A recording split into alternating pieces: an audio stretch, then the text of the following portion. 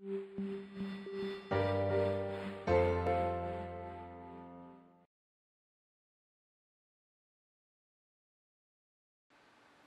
right, guys. So we got the last day of our first week of this training block. Uh, today is going to be an upper body focused day. Hopefully you guys enjoyed Andrea torturing me in the last uh, video. a little revenge.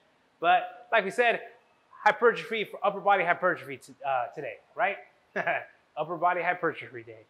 All right, so we have, same as the lower body day, we have two exercises that we're gonna superset, one right after the other. We're gonna do each for 30 seconds, right? And then you'll rest a few seconds in between and then repeat that for three sets, okay?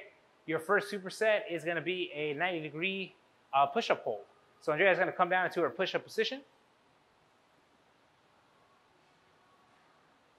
All right, she's gonna come down to her elbows are about 90 degrees.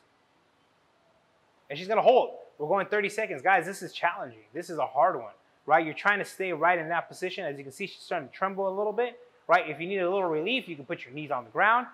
And then you can always pick them right back up if you need to, right before coming out of that push-up position, okay? So after you do 30 seconds of that, you're gonna stand up, and we're gonna do an isometric bicep hold. Now, if you had weights or even a band, you could still accomplish this. But we're gonna use, uh, we're gonna use a yoga strap. Um, a belt would work here too, or even a towel, right? And so Andrea, what Andrea's gonna do is she's gonna get a good grip on the ends of this strap. And again, we want the elbows to be just about 90 degrees, maybe a little tiny bit lower than 90 degrees. And for 30 seconds, she is gonna curl as hard as she can. She's getting an isometric contraction through her bicep, shoulders, even her abs. You can visually see those muscles turn on, right? 30 seconds and you're pulling and you're pulling and you're pulling and you're pulling and then you're gonna rest.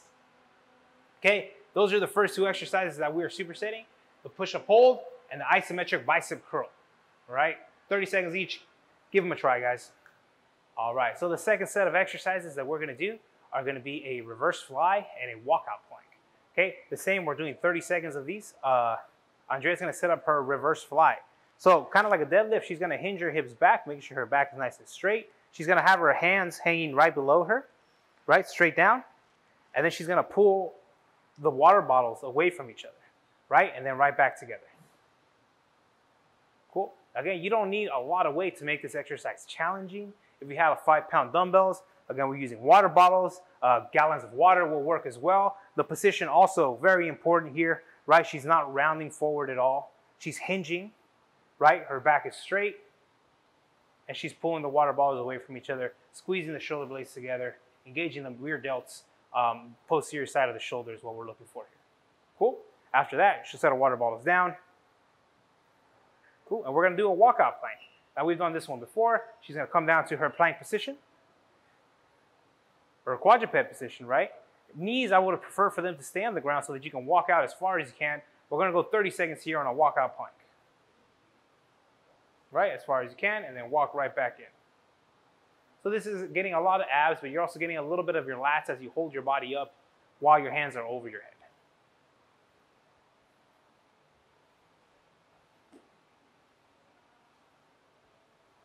And relax. All right, so that's your second set. Three sets, 30 seconds each. All right, guys. So the last superset we have for our upper body circuit is going to be uh, some towel rows, isometric towel rows paired with a tricep push-up, okay?